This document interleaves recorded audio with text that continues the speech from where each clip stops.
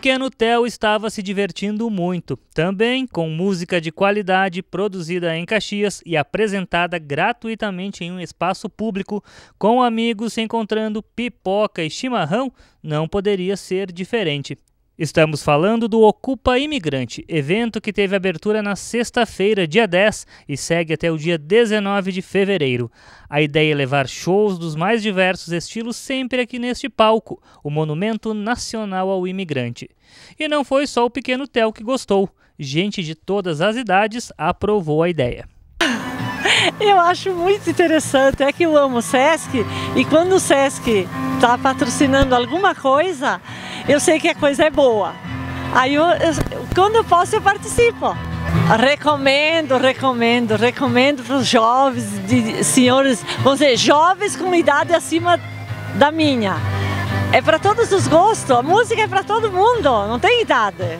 A Jennifer e o Luiz vieram prevenidos, trouxeram até o guarda-chuva, mas nem precisou. Para eles, a utilização do espaço público ao ar livre foi uma excelente ideia. Ocupar espaços públicos como imigrante uh, aqui em Caxias do Sul, por exemplo, é maravilhoso. Isso precisa acontecer mais vezes. É preciso que as pessoas tomem consciência de que esses espaços precisam ser usados e com um evento cultural assim, casou o útil ao agradável.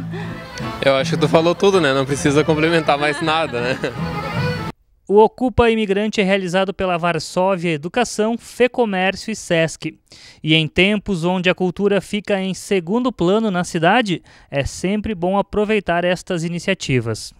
É muito interessante o projeto estar tá ocorrendo justamente agora, onde é, a cidade e muitas cidades do Brasil né, sofrem com essa crise de esclarecimento é, no qual não se sabe exatamente o que, que é interessante se fazer na rua, o que, que se pode, o que, que se não se pode, né? E qual que é o lugar da arte, qual que é o lugar da cultura, qual que é o papel delas nisso tudo, né?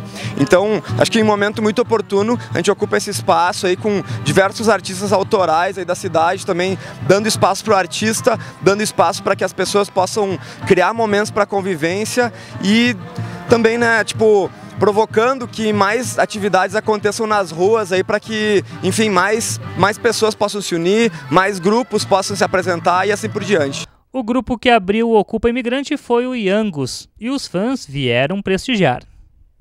Bah! Yang, a gente já conhece a banda há um tempinho, assim, um pouco tempo, acho que tem um ano, né? É, assim, quando eles se apresentaram com o Dante Ramon, né, ali no Teatro da Cultura, Isso. a gente acabou conhecendo o trabalho deles, né? É bastante importante que a gente tenha acesso a esse tipo de cultura, assim, de graça, né? Ao ar livre em lugares, assim, pouco né, uh, usados pela comunidade, né? Falando em fã, vamos voltar ao Theo do início da reportagem. Ele gosta. É, ele gosta, na verdade nós também participamos de CTG e ele vai para os ensaios, ele gosta tanto da música quanto da dança. E às vezes em casa fica ele e o papai, eles cantam e tocam. Ele tem o violão, foi o primeiro presente dele, ele tem um violãozinho que ele toca junto. e ele gosta, então a gente tenta influenciar que ele gosta de cultura, né, de uma forma geral. O pequeno Theo é filho do Tomás, que toca violão na Yangos e no fim do show foi para o colo do papai. É espetacular, na verdade, uh, a gente poder fazer aquilo que a gente ama para o povo da gente, é, em casa, né?